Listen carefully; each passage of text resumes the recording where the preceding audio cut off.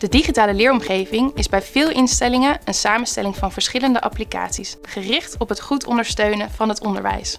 Het organiseren van een goede gebruikerservaring is een grote uitdaging. Docenten en studenten hebben namelijk verschillende behoeften en wensen. Bovendien is de leeromgeving geen statisch geheel. Bij veel instellingen vindt continue doorontwikkeling plaats. Hoe instellingen omgaan met deze uitdaging lees je in de publicatie Verbeterde gebruikerservaring van de digitale leeromgeving. Er komt steeds meer educatieve technologie beschikbaar, met als gevolg dat overzichtelijkheid en toegankelijkheid van de digitale leeromgeving steeds belangrijker worden. Hoe zorgen we ervoor dat alles vindbaar blijft en studenten en docenten zonder drempels tussen al die verschillende mogelijkheden heen en weer kunnen schakelen? Binnen in Holland ontwikkelden we daarvoor een gepersonaliseerd gebruikersportaal met de naam Iris. Daarin brengen we nieuws, informatie, communicatie, media en webapps op overzichtelijke wijze bij elkaar.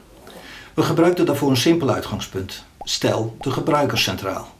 Consequent redeneren vanuit het perspectief van de gebruiker heeft ons geholpen om op een nieuwe manier naar de inrichting en presentatie van de digitale leeromgeving te kijken.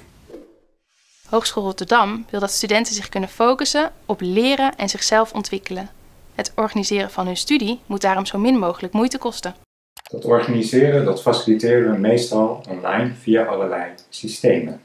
En studenten moeten daar zelf hun weg in zien te vinden.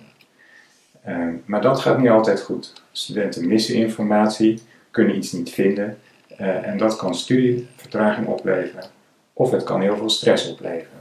Daarom zijn we vanuit de hogeschool bezig om studenten daarin beter te ondersteunen.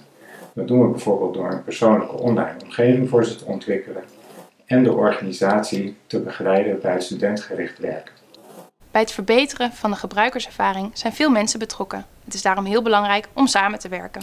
De HVA is een grote instelling met zeven faculteiten die ieder een sterk eigen cultuur en karakter hebben. Voor ons is decentrale betrokkenheid en verantwoordelijkheid dan ook de succesfactor als het gaat om het doorontwikkelen van de digitale leeromgeving.